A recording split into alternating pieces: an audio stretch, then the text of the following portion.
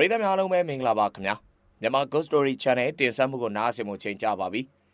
ဆိုတော့ဒီနေ့မှာပရိသတ်များအားလုံးအတွက်ထုံးစံတိုင်းပဲဇလန်တစ်ပုဒ်ကိုထပ်ပြီးတော့ရွေးချယ်ထားပါတယ်အဲအဲ့ဒီဇလန်ရဲ့နာမည်ကတော့တဆေတိုင်းကိုရင်လေးနဲ့စုံတိုက်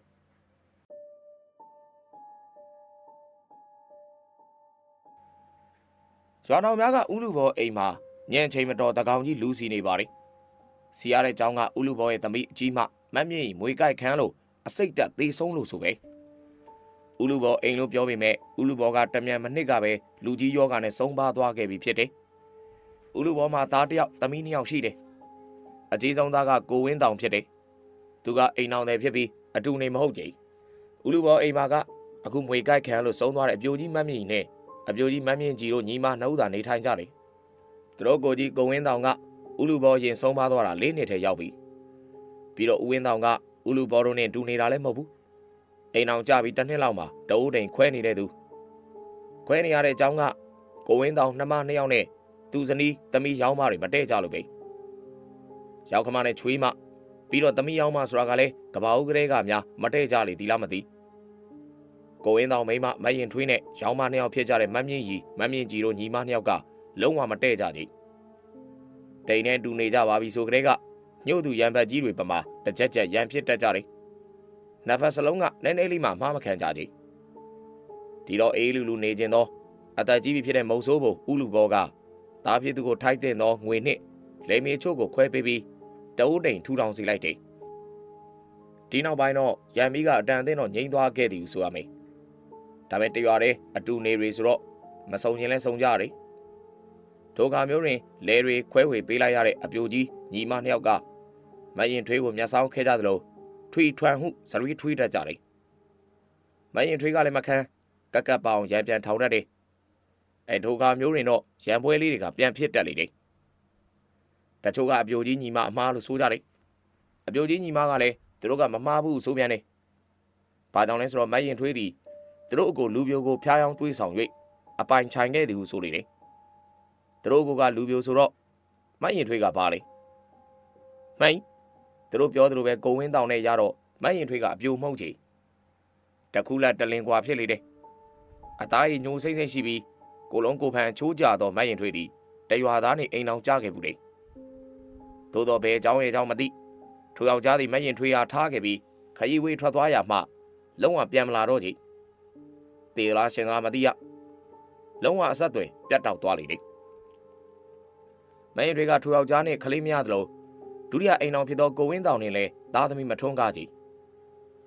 ဒါကြောင့်ပြိုကြီးညီမကကွယ်ရမှာမရင်ထွေးကိုအမြုံမဟုကဲရဲ့တင်းတုပ်ကြတယ်ကိုဝင်းတောင်နဲ့မရင်ထွေးတို့မှာညီသူကအားနေချက်ရှိတယ်လဲတော့မပြောတတ်အမှန်တကယ်လဲသူတို့ညာပြီးသုံးနှစ်ကျော်သည့်ထိခလေးမရကြပြီကိုဝင်းတောင်ကလူအေးသူမိမပြောသမျှယုံတယ်ဒါကြောင့်သူမယားနဲ့ညီမတွေရံဖြစ်တိုင်းမရဘက်သာပါလိရှိတယ်အခုအပြိုကြီးမမြင့်ဆုံးသွားမှရွာကလူတွေက တတိတရဆိုကြလေတယ်သူတို့မောင်နှမတွေကကန်တူကျိုးပေးတယ်နော်သူတို့ကိုကိုဝင်းဆောင်ကြီးလေလေတော့အပြန်ညနေဆောင်မှာပိုးတီလို့စုံတာမလားမှန်ကြီးကိုဝင်းဆောင်မွေကိုက်ခန်းတာနေဝင်ရီတော်အချိန်ညနေ9နာရီခွဲတာတာခန့်မှာဖြစ်တယ်ဟုတ်ပါဝင်းဆောင်လည်းမွေကိုက်ခန်းလို့သိတာပဲလေဟဲ့ဒါနဲ့ဟိုတလောကမရင်ထွေးကမိတို့ညီမစီသူ့ယောက်ျားရမယ်မွေတွေကိုလာတောင်းသေးတယ်ဆိုအေးဘောတောင်းချမပေါ်ကြီးဥလူပေါ်ဆုံးပြီးကြတဲ့ကမြင်းကြီးနဲ့မြင်းကြီးက အငွေတွေကိုပိုင်စည်းထားကြနဲ့မှမနေပဲဥလူဘောလက်ထက်ကလေယာတွေကမနေကြဒါပြင်ဇနီးဆုံးတော့အကြီးမမမ်းမြင့်ကိုဥလူဘောကရွှေတယ်ပစ္စည်းများနဲ့ငွေသားတွေအကုန်အပ်ထားခဲ့လေတယ်ဒါဖြစ်သူဝင်းတောင်ကိုအိမ်အောင်ခွဲစင်ကပေးခဲ့တယ်ဆိုတာအနေချင်းသာဖြစ်တယ်ဝေပုံကြမဟုတ်ကြ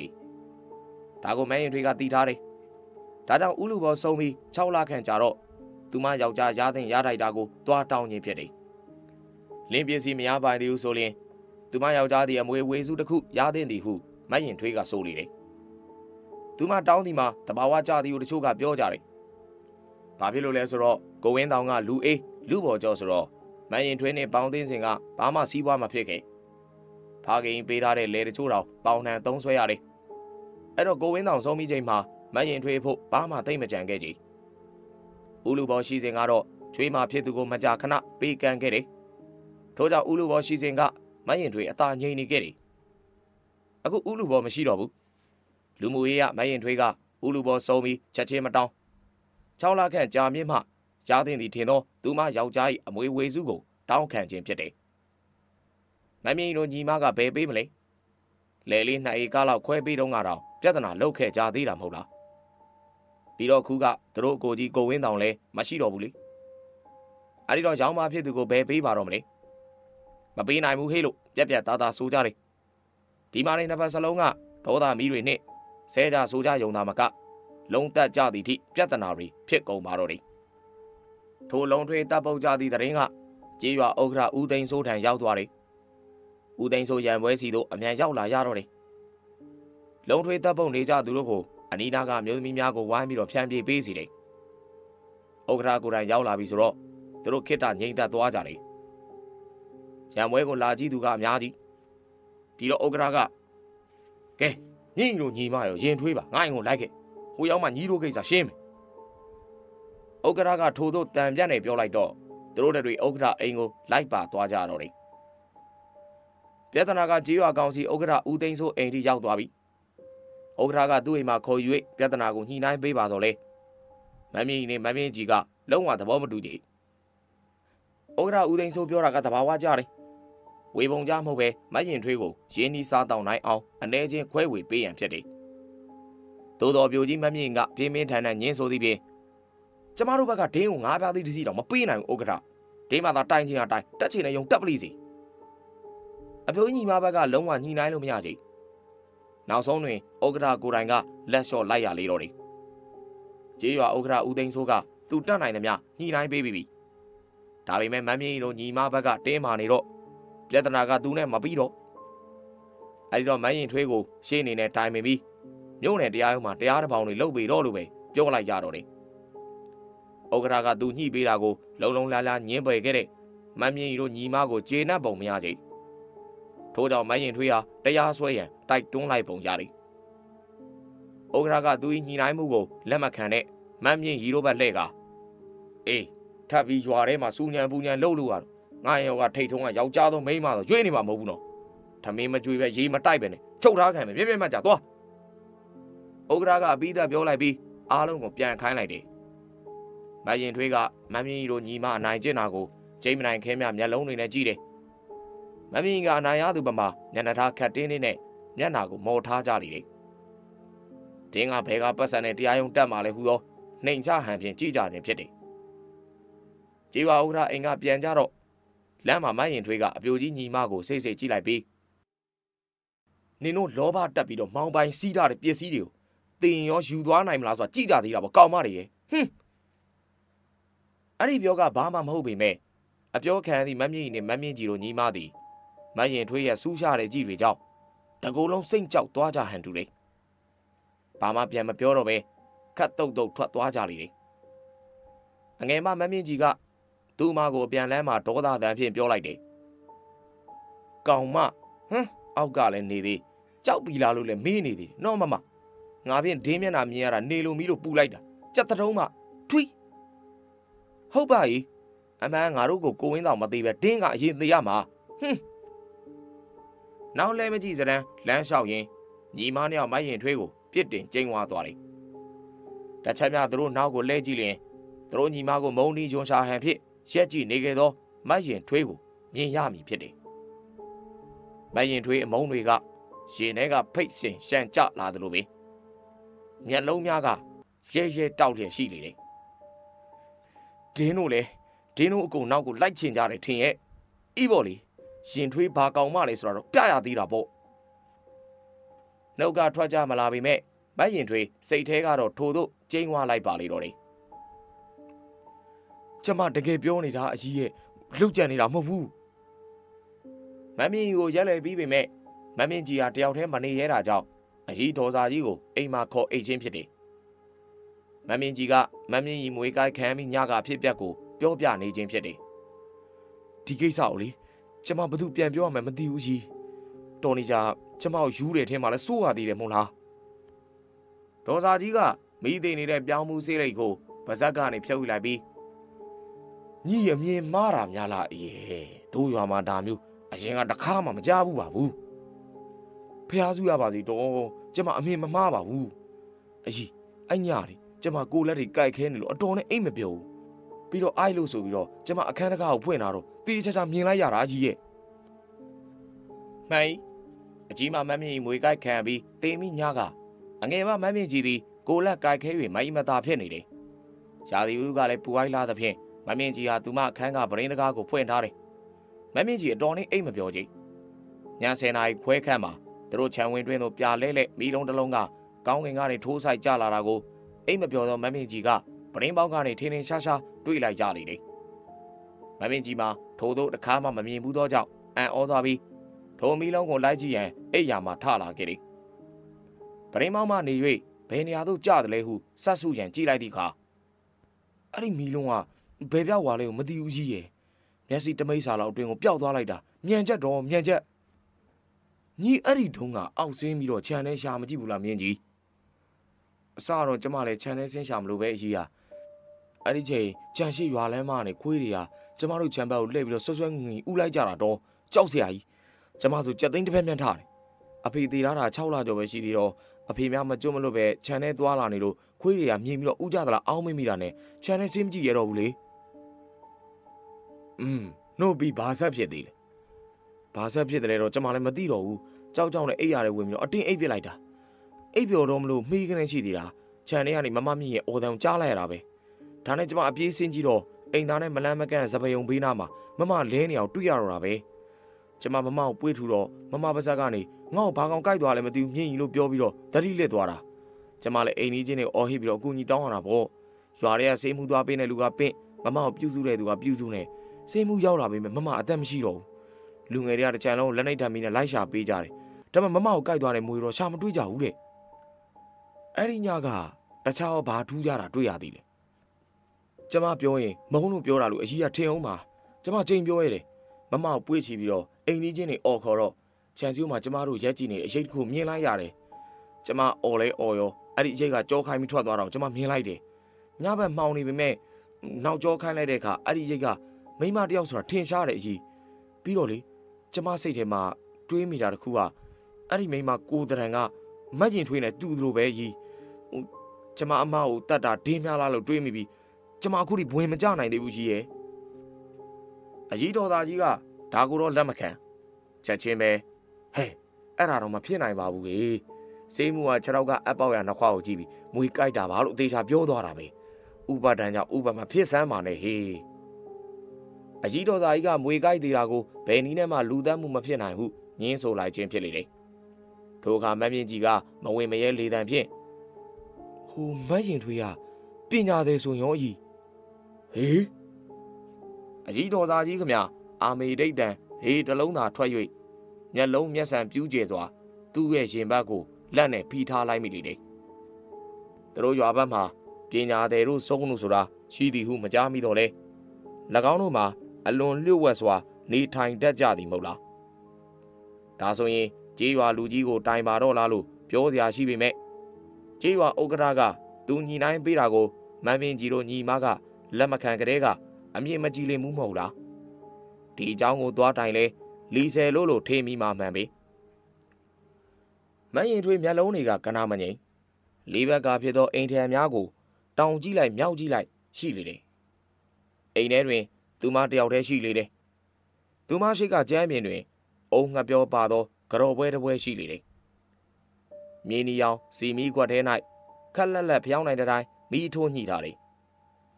ပရင်းတကားများကအလုံပိတ်ထားသည်ဖြစ်ရာထိုဖျောင်းနိုင်မီးပြပြအလင်းရောင်သာရှိလေတယ်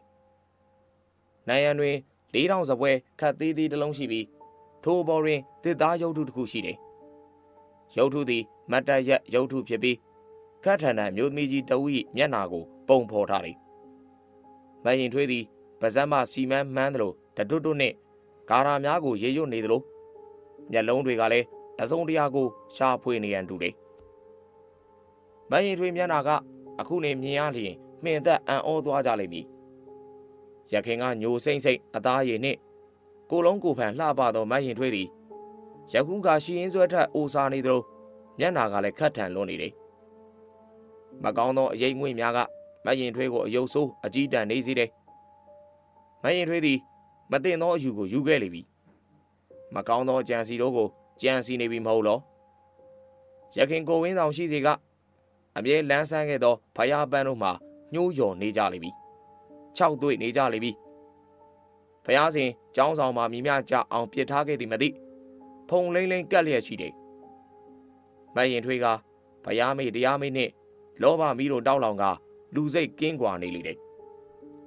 သူမရင်ထဲကအညှိုးကိုပြေပြောင်းစိတ်ကလက်စားခြေချင်းဟူသောလမ်းစဉ်ကိုလိုက်နေပြီဖြစ်တယ်မရင်ထွေးမျက်နှာပေါ်မှာခြေနဲ့ဟန်ပြုံးတစ်ခုကိုမြင်လိုက်ရတယ်မရင်ထွေးလွန်လေပြီးသောတိတ်ကိုတွေးမိ၍ဖြစ်တယ်အမှန်တော့သူမယောက်ျားကိုဝင်းတောင်တေဆုံးရခြင်းသည်လေသူမ၏လက်ချက်ပင်ဖြစ်တယ်ဒါရင်မကကြီးရခင်အိမ်အောင်ဖြစ်သောတရွာသား ပျောက်ကွယ်သွားသည်မှလည်းမရင်ထွေး၏လက်ချက်ဖြစ်လေတယ်။ဘာကြောင့်မရင်ထွေးသည်ခင်မွန်းယောက်ျားများကိုတယောက်ပြီးတယောက်လက်စတုံတက်ဖြတ်ခဲ့သည်။အဖေမှရှင်း၏မရင်ထွေးသည်အလွန်လွတ်ဝတ်သောပညာသည်စုံဖြစ်သောကြောင့်ပင်မရင်ထွေးသည်သူမ၏ပညာများကိုတိုးတိုးဝက်ဝက်နှင့်ကွယ်ဖြောက်ကတာမန်လူကဲ့သို့လင်ယူခဲ့တယ်။သို့တော်နေကြလာသည့်အခါအတူနေခင်မွန်းများကမရင်ထွေး၏လျှို့ဝှက်ချက်များကိုသိလာကြတယ် ပထမခင်မွန်းသည်မရင်ထွေးအားဆုံးမဟုသိရှိရတဲ့အခါမပေါင်းသေးတော့ပဲထွက်ပြေးခဲ့တယ်သို့တော့မရင်ထွေးလိုစုံမျိုးလက်မှလွတ်အောင်မပြေးတာခဲ့တော်လန်ခီး၌မရင်ထွေးတိုက်မွေအကိုက်ခံရကအသက်ပင်ဆုံးပါခဲ့ရတယ်ထို့သူဒုတိယအိမ်အောင်ဖြစ်သောကိုဝင်းတောင်သည်လာခွေညာတစ်ခု၌မရင်ထွေးဆုံးတောက်စားနေသည်ကိုလက်တွေ့မြင်ခဲ့၍ကြောက်ရွံ့သွားခဲ့တယ်သို့တော်ဖွင့်မပြောဘဲနေနေခဲ့တယ်။ ကိုဝင်းတောင်သည်သူ့မိမဆုံးမမှန်တီးသွားသည့်အခါမပေါင်းသင်းလိုတော့ပြီ။ထို့ကြောင့်ကိုဖာခင်ဖြစ်သူဦးလူဘောနှင့်နှမနှစ်ယောက်အားဖွင့်ပြောရန်ဆုံးဖြတ်ချက်ချခဲ့တယ်။သို့သောကိုဝင်းတောင်၏အကြံကိုမရင်ထွေးကကြိုတင်သိရှိသွားသည့်အခါကိုဝင်းတောင်ရွာထဲမဝင်မီရွာပြင်ကုတ်ကူတန်း၌သူမ၏တိုက်မွေဖြင့်ကိုဝင်းတောင်အားကိုက်တက်ပြစ်လိုက်ခြင်းဖြစ်တယ်။ယခုလဲသူမသည်ကိုဝင်းတောင်၏အမွေဝေစုကိုအပြိုကြီးညီမနှစ်ယောက်ထံတောင်းခံရမှ ပြဿနာကြီးထွားလာတယ်။အမွေကိုခွဲမပေးလို့တော့အပြိုကြီးညီမကိုအညိုလေးကြီးစွာတိုက်မွေဖြင့်လောက်ကြံတပ်ဖြတ်ရန်ကြံစီလောက်ကင်ခဲ့တယ်။သူမကြံစီအောင်မြင်သည်ဟုဆိုရတယ်။အကြီးမမတ်မြင့်တယောက်ဖြင့်မွေကိုက်ခံရ၍တေဆုံးသွားခဲ့လိမ့်မည်။အငယ်မမတ်မြင့်ကြီးတယောက်သာကြံတော့တယ်။မတ်မြင့်ကြီးကိုဆက်လက်တပ်ဖြတ်ရန်ယခုသူမအိမ်ထဲ၌ဆောင်ရွက်နေခြင်းဖြစ်တယ်။မကြမီမန်ရင်ထွေးအခန်းထဲ၌ မန်ရင်ထွေးကိုသည်ပျောက်ကွယ်သွားပြီးကျမ်းပေါ်၌မန်ရင်ထွေးဝစ်သောအဝတ်တို့သာပုံရသားတွေ့ရသည်မကြပါထိုဝိပုံထဲမှာပြာလဲလဲမီးလုံးတစ်ခုသည်ဟုတ်ကနေထွက်ပေါ်လာတယ်ထိုမီးလုံးသည်အခန်းထဲရှိလေတူး၌တောင်မြောက်ပြေးကစားနေတယ်ညသည်ညင်းတဲ့ပိုင်းသို့တဖြည်းဖြည်းချင်းနှင်းလာခဲ့ကြပြီမန်ရင်ထွေးအိမ်ပရင်းမောက်သည်ပိတ်ထားရမှဝုန်းနဲ့ပွင့်သွားတယ်အခန်းထဲကမီးလုံးသည် ပွင့်သွားသောထိုပရင်းမောက်မှတဆင့်ကောင်းကင်စီသို့တိုးထက်သွားလေတယ်။ပြလဲလဲဆင်းရှိသောမီးလုံးသည်ရွာတော်ပြားစီသို့ဦးတီပြန်တန်းသွားလေတယ်။ရွာတော်ပြားမှာကသူမနောက်ဆုံးတုတ်တင်ရပြီးရန်သူတော်မတ်မြင့်ကြီးရှိနေသည်မဟုတ်လား။ဟဲ့ငခင်လဲကိုမြန်မြန်မောင်းပါဟဲ့နင့်ကမောင်းအောင်တာပေါ့။အကြီးသားကြီးသည်ကိုရင်နန်ဒီယာကိုတလဲမောင်းလာသည့်ပတ်ဝန်းကျင်ကိုတလဲကြည့်ရင်လဲသမားငတ်ခင်ကိုအမျက်မောင်းရန် တိုက်တွန်းလောဆော်လိုက်တယ်။ငတ်ခင်ကလဲကိုဤတွဲစွာ မောင်းနေနေ၍လမ်းခီး၌အချိန်တွေကုန်လွန်သွားခဲ့တယ်။ရွာကိုပြန်ရောက်မိချိန်မရောက်နိုင်တော့ယခုပင်မှောင်စပြုလာခဲ့လိမ့်မည်။အကြီးစားကြီးတူတူမှများကြီးညော်နေမှာကိုသိနေ၍လဲကျမ်းမြေပေါ်ကနေဖင်တကြွကြွဖြစ်နေတယ်။လဲဦးမှာအကြီးစားကြီးပင်လာခဲ့တဲ့ကိုရင်နန္ဒီယာကတော့လွယ်တလုံးနှင့်အေးစိတ်တည်ငြိမ်စွာထိုင်လျက်လိုက်ပါလာလေတယ်။ အကြီးစားကြီးတို့ရွာကိုရောက်တော့ည9နာရီခွဲလေပြီ။လဲကမမ်းမြကြီးရဲ့ခြံဝိုင်းရှိရောက်တော့အကြီးစားကြီးရင်ပြောင်းဆန်သွားတယ်။မမ်းမြင့်ကြီးခြံထဲမှာလူတချို့ရောက်နေကြသလိုအိမ်ထဲကလည်းအတန်မျိုးစုံကြားနေရသည်မဟုတ်လား။ဖယားဖယားငါတို့တစီနိုင်ကိုရင်လေးကိုပင့်ဖိတ်လာခဲ့ပြီ။ငါတို့မကတော့အိမ်ထဲမှာများမွေကြိုက်ခံလို့သေနေပြီလား။လဲဘော်ကနေအရွယ်နဲ့မလိုက်အောင်အကြီးစားကြီးလွှားကနေခုံဆင်းက အိမ်ထဲပြေးဝင်သွားရင်ဟဲ့ငခင်ကိုရင်လေးကိုနေမဲ့အိမ်ထဲကိုပင်းခဲ့တော့ဟေ့ဟုအော်ပြောသွားခဲ့တော့တယ်မဆာကြီးအိမ်ထဲရောက်တော့သူ့တူမများကြီးကအောက်ထက်ကကိုပြစ်ပေါ်မှာခြေစင်းထိုင်နေတာကိုမြင်လိုက်ရတယ်။သို့တော့အကောင်ဘဂရီတော့မဟုတ်ချီ။ညာကြီးကို၌တစေဝင်ပြီးတော့ပူးကတ်နေတယ်။ညာကြီးသည်သပင်တွေဖားရချလျက်မျက်လုံးတွေပြူးကျနေတယ်။ကောင်းငုံငုံသည့်အခါငုံထားပြီး တဝူးတဝါဝါနဲ့ဘာရီပြောနေမှမသိ။ညာကြီးရှိပါအင်ဘက်ဖြင့်ထမင်းဟင်းတွေပုံထားတယ်။ညာကြီးကအင်ဘက်ပေါ်ကထမင်းဟင်းတွေကိုရက်ဖြဲထားတယ်။အင်ဘက်ပေါ်သားမကကျဲမြေပေါ်မှာထမင်းစားဟင်းစားတွေကပြန်ကျဲနေကြလေတယ်။ညာကြီးရဲ့နှကမ်းမှာလည်းဟင်းစီတွေပေလူးနေတယ်။ညာကြီးကိုဘေးမှာမိမအချို့ကထိမ့်ပေးနေကြတော့လေ။ထုံမိမတို့အမူအရာတွေကကြောက်ရွံ့နေကြမှန်းသိတာလေ။ မဆာကြီးဝင်လာတာကိုမြင်တော့သူတို့ဟမ်ဆောင်နိုင်ကြတယ်။ညာကြီးအနီးမှာထလာကြလေတယ်။အကြီးစားကြီးတော့သူမှတရေဝင်စည်းနေတယ်တော့ကြမ်းလိုက်တာမှပြောမပြောချင်ဘူးသူ့ထမိန်ကိုပဝါစီးပေးထားတာပဲကြည့်တော့ထိုအခါမှမတ်စာကြီးတတိထားမိသွားတယ်ရှင်တွေခရာကိုလည်းမြေပေါ်မှာကြာကွဲနေတယ်လို့လေမန်းတွေအကြမ်းပကံတွေကဟိုနားတစဒီနားတစမြင့်ကြီးတွေ့ရမြင်ရကိုကောက်ပေါက်ခွဲထားဟန်တူနေတယ်ဟုတ်တယ် တော့တူမယောက်ျားတိုင်နဲ့ငါစားတယ်ငါစားတယ်လို့တဖက်ဖက်ပြောနေလို့အင်ဘတ်ပေါ်ထမင်းနဲ့ဟင်ပုံကျွေးထားတယ်ပထမတော့စားတယ်အငမ်းမြောက်စားတာတခဏနေတော့မစားတော့ပဲသူ့လက်နဲ့ထမိတ်နေဟင်းတွေကိုရက်ဖြဲပြစ်နေရပဲတော့သူတို့ရွာတလေးကအပမိသူကိုဘယ်တော့မှပကံပြားနဲ့မကြွေအခုလိုအင်ဘတ်ပေါ်မှာဓမင်းနဲ့ဟင်းရောရီပုံကျွေးရသည်တဘောကတော့ဧည့်သည်ဖြစ်လက်မခံဟုဆိုခြင်းဖြစ်လေတယ်စားမိန်တို့ကိုစား၍လိုရာကိုသွားစီဟုနှင်းထုတ်ခြင်းတစ်မျိုးပင်ဖြစ်လေတယ် လဲသမားငခင်လေးတူကိုရင်လေးနန္ဒီယာရောက်လာတယ်ကိုရင်သည်တရေဝင်ပြီးပူးကတ်နေသည့်မမြင့်ကြီးကိုအကဲခတ်လိုက်ပြီးမကြောက်မရွံ့နဲ့မမ်းမြင့်ကြီးအနီးသွား၍တမလင်ခွေထိုင်လိုက်တယ်။အန်ဩစရာကအခုမှစတယ်။တရေပူနေသောမြင့်ကြီးသည်ဖင်တရီကိုဆွဲလျက်ကိုရင်နှင့်ဝေးရာကိုရွေ့လေတယ်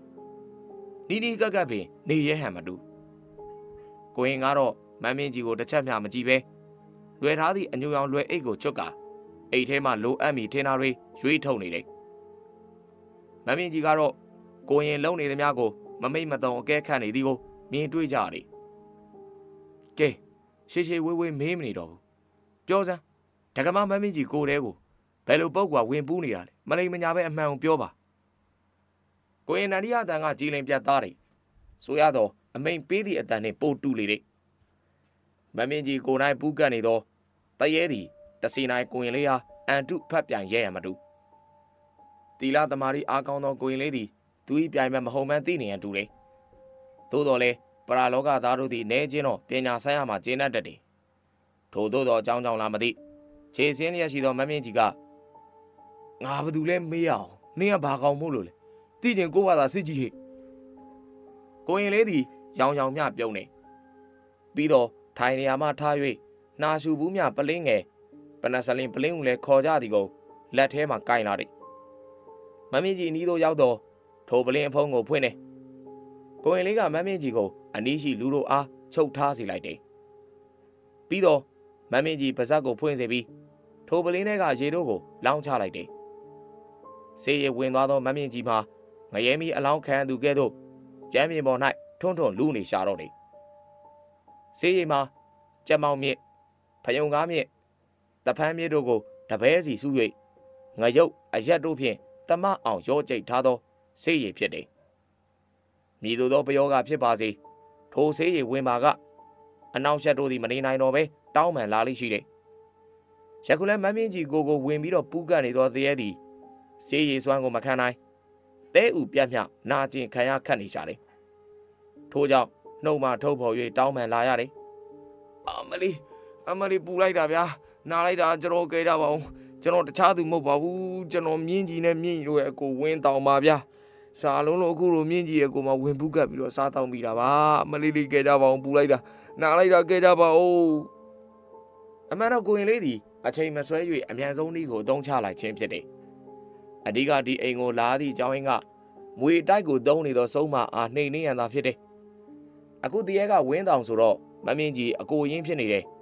ထို့ကြောင့်လှုပ်ပေးရန်ဆုံးဖြတ်လိုက်ပြီးမှတစုံတစ်ခုကိုသတိရသွားဟန်ဖြင့်ဩဒီမှာကိုဝင်းတောင်ခမအစားအစာလိုုံလောက်နေတော့မမ်းမင်းကြီးကိုမှကြာကြာပူးကတ်မှာမဟုတ်ဘူးအစာဝိုင်းပြန်ထွက်မှတေးကြတယ်ခမကိုရင်းကိုတခုခုထိန်ချန်ထားသေးတယ်မဟုတ်လားဟမ်ထိုစကားကိုကြားသောအခါမမ်းမြင့်ကြီးသည်မျက်ရည်များပိုးပိုးပေါက်ပေါက်ကျလာသည်ဒါပေမဲ့သူခမတစုံတရာကိုကြောက်ရွံ့နေဟန်ဖြင့်တကူလုံးတုံရင်နေရှာတယ် ကိုရင်လေးရဲ့အမေးစကားကိုဗဇက်ကနေတခွန်းမှဖြေးမလာချေကိုရင်လေးသည်တရေကိုဝင်းတောင်ကြောက်နေသောအရာကိုရိတ်စားမိသွားဟန်တူ၍อืมဒါဖြင့်ကိုရင်တူတူမေးမယ်မှန်ခေါင်းငိမ့်ပြမိုင်ခေါင်းခါပေါ့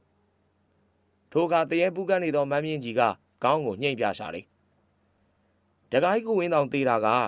ရိုးရိုးမွေကြိုက်ခံလို့သေးတာမဟုတ်ဘူးလို့ကိုရင်ကိုဒကမာကြီးတော်စာပြောတယ်အဲ့ဒါမှန်သလား မမင်းကြီးကတွက်လက်စွာခေါင်းကိုညှိမ့်ပြပြန်တယ်ဒကာကြီးကိုလှုပ်ကြံတာကဒကာကြီးရဲ့မိန်းမမတ်ရင်ထွေးလို့သူတို့ကတန်တရားရှိနေကြတယ်အဲ့ဒါရောမှန်သလား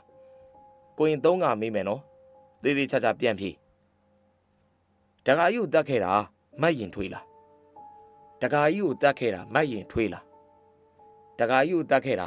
မတ်ရင်ထွေးလားဒီတခါတရေပူကနေသောမမ်းမြင့်ကြီးကဒေါ်စာကြီးကိုလှမ်းကြည့်တယ် ဒေါ်စာကြီးကခေါင်းငိမ့်ပြတော့မှ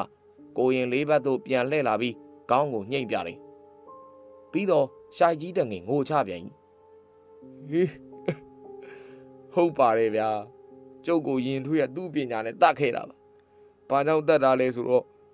तू ကပညာတဲ့သုံးပါမယ်ကျုပ်ကတီးသွားလို့ပါဗျာကျုပ်ကတီးသွားလို့ကျုပ်ကိုတတ်တာပါအိမ်ထဲချီလာပြီးတော့စတ်စုနေကြသောရွာသူရွာသားချို့မှာမြင်းကြီးပါဇက်ကထိုးထိုးပြောသောအခါ အံ့အားသင့်သွားကြတယ်ပြီးတော့ရင်ထွေးကသူ့ရင်ယောက်ျားကိုလည်းအကြောင်းသိသွားတဲ့အခါမှာတတ်တယ်ဗျာသူလိုတာမပေးတဲ့ကျုံနှမမြင့်ကြီးကိုလည်းတတ်တယ်သူတတ်တာဟာဦးအားလုံးကထိတ်လန့်အံ့ဩကုန်ကြတယ်ကိုရင်လေးကอืมဘာနဲ့တတ်တာလဲသူကသာအလိုရှိလို့ရှင်ဘဝကနေလဲမွေပွေးမွေရောက်ဖြစ်စေနိုင်တယ်ဗျ ရင်တို့ရတိတ်ကိုစွမ်းထက်တဲ့စုံးမဒါကြောင့်တိုက်မွေနဲ့လှုပ်ပြီးတော့တတ်ခိုင်းတာပေါ့သူခုမြင်းကြီးကိုပါထပ်တတ်ဖို့ကြံရွယ်နေပြီဗျကျုံနှမတွေကိုကာကွယ်ပေးနိုင်ကာကွယ်ပေးကြပါအောင်ဗျာကာကွယ်ပေးကြပါအောင်ဖះဖះကြားရသူများကဖះတကြတယ်အားလုံးမျက်နှာတွေကထိတ်လန့်နေကြတယ်ကိုရင်လေးသည်မန်းရင်ထွေးကိုစုံးဟု သူ့ဘာသာတအူးတဲ့မယိုးဆိုအများသိအောင်တက်တည်ထူလိုက်ခြင်းဖြစ်တယ် ကဲဒါဆိုရင်စုံမမန်းရင်ထွေးကိုကိုရင်ဆင့်ခေါ်လိုက်မယ်သူကိုရင်ခေါ်ရင်မလာပဲမနေနိုင်ပါဘူးဒါပေမဲ့ဒီအိမ်ထဲတော့မဖြစ်ဘူးဒါကြောင့်ခြံဝိုင်းထဲကိုသွားကြအောင်ထိုအခါမြင်းကြီးကိုနိုင်ဝင်ပူးကန်နေတော့တရေဝင်းတောင်ကကျုပ်ကျုပ်ဆက်နေလို့မဖြစ်ဘူးဒါကြောင့်ကျုပ်ကိုသွားခွင့်ပေးပါနော်ကိုရင်လေးကသဘောပေါက်ဝင်တူတယ်ထို့ကြောင့်မြင်းကြီးရဲ့ဦးကောင်းကိုလက်ဖြင့်သုံးချက်ပုတ်၍ကိုရင်ခွင့်ပြုတယ်ထွက်သွားပါ မမင်းကြီးကကိုရင်လေးအားဦးသုံးချိန်ချ၍ကြော်ဤပြီးတော့မမင်းကြီးကိုသည်တုံရင်သွားပြီးကျမ်းပေါ်သို့လဲကျသွားလေတယ်လူအချို့ကကိုရင်လေးလှုပ်သမျှကိုတန်တော်ကြည့်နေကြတယ်ကိုရင်လေးကကြည့်နေသူများဘက်ကိုရေမန်းဖြင့်စီတားထားပေးလိုက်ပြီးကိုရင်နဲ့ဆုံးမတွေ့တဲ့အခါဘာအကြောင်းကြောင့်နဲ့မှဒီတားထားတဲ့စီကိုကြော်မလာကြပါနဲ့စီကိုကြော်လိုက်ဆုံးမပြူစားနိုင်တယ်စီရဲ့ဟိုတစ်ဖက်မှာဆိုဆုံးမမထိဝင်ဘူးစိတ်ချပါကိုရင်ကဆုံးမမတတ်ပါဘူး သူ့ပညာကိုပဲအကုန်စင်နှုတ်ယူမှာပါကိုရင်လေးသည်ညီညာသောမြေပြင်တစ်ခု၌ပါလာသည့်နေကတိုင်ကိုဖြန့်ခင်းကအသင့်ထိုင်နေလိုက်တယ်ထို့နောက်ဂါရာတပုတ်ကိုရွတ်ဆို၍ဆုံးမအားသူ့ထံလာရောက်ရန်စင့်ခေါ်လိုက်တယ်ညသည်ပိမ့်ပိမ့်မှောင်နေသောညလဲဥလူဘောအိမ်ချံဝိုင်းထဲ၌လူတချို့ကထိုးညှိထားသောဖျောင်းစီမီတချို့ကလင်းလက်နေပါလေကိုရင်လေးဂါရာရွတ်ဆိုတဲ့အဆုံးသတ်တွင် ကောင်းကင်၌ပြာလဲလေရောင်ရှိသောမိလုံးတစ်လုံးသည်မြောက်မှတောင်သို့လှင်မြန်စွာရွေရှားနေသည်ကိုအားလုံးကမြင်တွေ့လိုက်ကြတယ်ထိုမိလုံးသည်ဥလူဘောအိမ်ဤကောင်းကင်၌တရေဝဲဝဲလုံနေတယ်ကိုရင်လေးသည်ထန်ကြမှန်ကြဂါရာကိုရေရွတ်လိုက်ပြန်တယ်ထိုကပြလဲလဲမီးလုံးသည်ကောင်းကင်၌ဆက်၍ရက်တီမနေနိုင်တော့ပဲဥလူဘောဤခြံဝိုင်းထဲသို့ဓလိန်ကောက်ကွေးပြုတ်ကျလာလေတော့တယ် မီးလုံးသည်ရွာထဲမှလူများရက်ကြည့်နေရနှင့်မျက်နှာချင်းဆိုင်ကစပယ်ယုံထဲသို့ကြာသွားခြင်းဖြစ်တယ်မကြပါစပယ်ယုံသည်ခတ်လှုပ်လို့ဖြစ်လာပြီးစပယ်ယုံနောက်ကျောမှစပင်ဖားရာထမိန်ရင်ရှားထားသောစုံမသည်ထွက်ပြူလာတယ်ကြည်နေသောသူတို့အားလုံးသည်အံ့ဩသွားလေတယ်စုံမသည်မတ်ရင်ထွေးဖြစ်နေသောကြောင့်ပင်ရခင်ကမရင်ထွေးကိုဘယ်သူကမှစုံမမှန်းမသိကြဘူးမဟုတ်လားမရင်ထွေးသည် လူတွေကိုဂယုမဆိုင်သူ့အားခေါ်ယူသည့်ကိုရင်လေးအားသူ့ပညာဖြင့်ရန်ပြုတိုက်ခိုက်ရန်ကိုရင်လေးအနီးကဒုံချောင်းလေးများကိုကြည့်၍မွေဖြစ်မှန်တန်ဖြင့်နိုးထစေလိုက်တယ်ထွာဆိုင်သာသာလောက်ဒုံချောင်းလေးများတတောင်ခန့်ရှိမိဒုံချောင်းလေးများသည်စုံမရင်ထွေး၏ပညာကြောင့်မွေဆိုးများဖြင့်ပြောင်းကုန်ကြတယ်ရင်မွေဆိုးတို့သည်စုံမရင်ထွေးအမိန့်ကိုနာခံသမှုပြု၍ကိုရင်လေးအားကြိုက်တတ်ကြရန်ရှောကနေရှောကနေ ပြေးဝင်လာကြလေတယ်ကြည်နေကြသူပေါင်းမှာရင်တထိတ်ထိတ်ရှိလာတယ်မွေဆိုးများသည်ကိုရင်လေးအနီးသို့ရောက်လာကြတယ်ကိုရင်လေးသည်မွေနိုင်ကာရာကိုရွတ်ဖက်၍အကုန်လုံးကိုမူလာပြန်စီလို့ဆိုလိုက်သောအခါကာယံပါဇက်ဖျဲလာသောမွေဆိုးတို့မှကိုရင်၏အနီး၌မူလာဖြစ်သောဒုတ်ချောင်းတွင်သို့ပြောင်းလဲကုန်တယ်ဆုံးမသည်ထိုချင်းရာကိုမြင်သည့်အခါနောက်တစ်ကြိမ်လစ်သည့်အခါမှတိုက်မဟိဟူသောကြံဖြင့်ထွက်ပြေးရန်ပြင်နေတယ် ဒါကိုကြိုသိသောတစေနိုင်ကိုရင်လေးကဂါရာတပုတ်ကိုရွတ်ဆိုလိုက်ပြီးလက်ထဲကဆံမန်းဖြင့်စုံမကိုပေါ်သို့ပြစ်ပေါက်လိုက်လေတယ်။စံစည်းတို့သည်စုံမကိုနဲ့ထိတွေ့သည့်အခါမိပွင့်များထပွင့်ကုန်တယ်။စုံမခမငရဲမိဖြင့်အပေါက်ခံရသူတကဲ့သို့ထုံထုံလူကမြေပေါ်သို့လဲကျလေတယ်။ထိုအခါကိုရင်လေးကစုံမအားဆိုင်ရာတို့မှလာ၍ချုပ်စီတယ်။စုံမသည်ကိုရင်လေးပညာစွမ်းအား အာမခံဝွန်းတော်ကြည်။ကိုရင်ကစုံမထံမှပညာတို့ကိုတစိုးတစီမကြံရလေအောင်နှုတ်ယူလေတယ်။မရင်ထွေးသည်စုံတက်ပညာတို့ကိုကုံစင်အောင် ထုတ်ပေးလိုက်ရသဖြင့်နွမ်းလျမေးမျောသွားလေတယ်။ထိုအခါမှကြည်နေသူအပေါင်းလဲဟင်းချနိုင်တော့တယ်။မေပြောနေသောမရင်ထွေးကိုတတိယအောင်လုပ်ကြတယ်။သူ့ကိုဘာလုပ်ရမလဲကိုရင်။ဘာမှမလုပ်ကြပါနဲ့။သူတရားသူစီရင်ပါလိမ့်မယ်။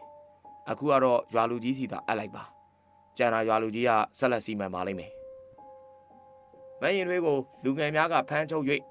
ရွာလူကြီးထံအပ်တယ်။ရွာလူကြီးကဒီညတော့မိုးချုံနေပြီ။မနှက်ဖြံမှရဲလက်တို့အပ်မြူဆိုလိုက်ပြီးထိတ်တုံးဖြင့်ခတ်ထားလိုက်လေတယ်။မမင်းကြီးသည်သူမ၏တက်ကိုတစိနိုင်ကိုရင်လေးကကယ်လိုက်သဖြင့်အသက်ဘေးမှလွတ်သွားရှာတယ်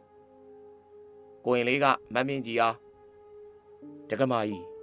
အလိုကြီးကအရနဲတယ်။လောဘသည်လူကိုသေးစေနိုင်တယ်။လူဘဝရောက်တုံးရောက်ခိုက်မှာတီလာကုသိုလ်ဘာဝနာထိုသုံးနံကိုမမေ့လျော့သင်ဒါကြောင့်ကွယ်လွန်လေပြီးတော့အမိအဖအကိုကြီးအမကြီးတို့ကိုကြည်ပါတေလွန်ပြီးနောက်ရှာဖွေထားသောစီးစိမ်ဥစ္စာပစ္စည်းရေနာတို့ကိုခြံရစ်ထားခဲ့ရတယ်မိသူကမှတေလွန်ရာသို့ယူဆောင်မသွားနိုင်ပါထို့ကြောင့်တေလွန်ပြီးသူတို့ဟာနမူနာယူ၍အခုချိန်မှစပြီးကုသိုလ်ဒါနပြုခြင်းတီလာဆောက်တည်ခြင်း ဘာဝနာတရားပွားများခြင်းတို့ကိုပြုလုပ်ပါဟုတိုက်တွန်းတရားပြသွားလေတယ်ကွင်လေးစကားကိုမမြင့်ကြီးကသဘောပေါက်နားလည်သွားတယ်။ထို့ကြောင့်ကွယ်လွန်သွားကြသောသူများကိုရည်စူး၍မိမိပိုင်ပစ္စည်းများမှခွဲဝေ၍ဒါနပြုရန်တန်ဒိတ်ထံချလိုက်တယ်။အံဟောစရာကောင်းသည်ကနောက်တနေ့မနက်ရွာလူကြီးသည်၎င်းအိမ်အောက်၌ထိတ်တုံးပြေချုံနှောင်ထားသောမတ်ရင်ထွေးအားစားစရာသွားပေးသည်ကမတ်ရင်ထွေးကို ငွေကပ်၍တေဆုံးနေသည်ကိုမြင်တွေ့လိုက်ရခြင်းပင်ဖြစ်လေတော့သည်ဟုတ်ကဲ့ပါဒီနေ့ကျွန်တော်မြန်မာ Ghost Story Channel တင်ဆက်မှုကတော့ဒီလောက်ပါပဲခင်ဗျဆိုတော့ဒီနေ့မှာအချိန်ပြီးပြီးတော့နားဆင်ကြတဲ့ပရိသတ်များအားလုံးလည်းကျင်းနေမယ်ထင်ပါတယ်ခင်ဗျအားလုံးလည်းနောက်နေ့မှာလာပြီးတော့အခုလိုပဲအားပေးကြဖို့ဖိတ်ခေါ်ပါရစေဆိုတော့ဒီနေ့မှာနားဆင်ကြတဲ့သူအားလုံးကိုကျေးဇူးထူးပဲတင်ရှိပါတယ်ခင်ဗျကျွန်တော်အန်ခေမှုပါ